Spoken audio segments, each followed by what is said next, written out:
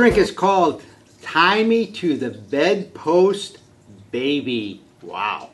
Where do these drink names come from? I don't know, but they're out there and people are ordering them and people are drinking them. So, we're going to make this straight up into our cocktail glass, old school style. So we're going to take our mixing cup, put ice in it, and our ingredients are Midori, our melon flavored liqueur, Malibu rum or any coconut flavored rum, citron flavored vodka. This is not sweet, it's just kind of like orange peelish. And our sweet and sour, which is our non-alcoholic bar mix made from reconstituted citrus juices and sugar. Okay, so here we go.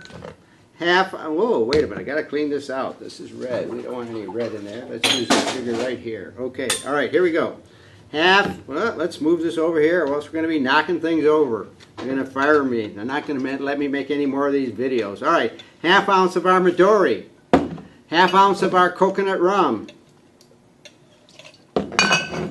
half ounce of our citrus vodka. And we're going to put in a couple of ounces of our sweet and sour. One, two, there we go. Okay, now we got to chill it. All right, so here we go. Let's shake it up. Let's get it nice and cold. So let's get out the ropes or the velvet ties, whatever you're going to use to tie up your loved one on the bedpost. Strain it all right, here we go. Oh, there we go. What a pretty drink. And we're going to put a cherry in it. Okay? Hey, a couple of these and who knows what will happen.